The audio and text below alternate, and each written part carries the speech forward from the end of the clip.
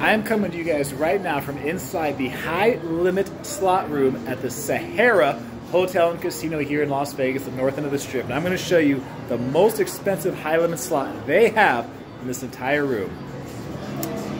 Double diamond.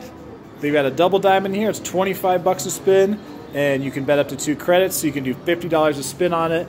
They also have another that's $25 a spin as well. So again, you can go up to 50 if you're going to max bet and do two credits. Those are the two most expensive slot machines to play in the high limit room here at Sahara.